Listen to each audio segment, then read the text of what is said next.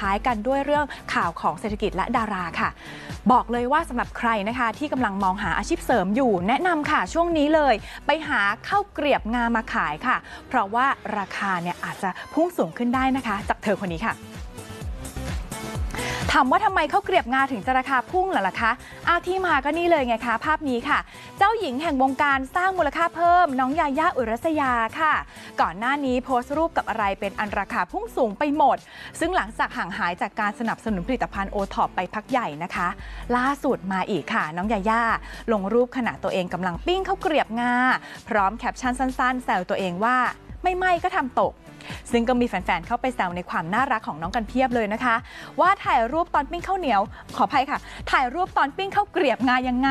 ให้ดูแพงได้ขนาดนี้นะคะ ขณะที่บางคนก็บอกว่าเอาล่ะ เตรียมตัวได้เลยหลังจากนี้ข้าวเกลียบงาราคาพุ่งแน่นอนค่ะ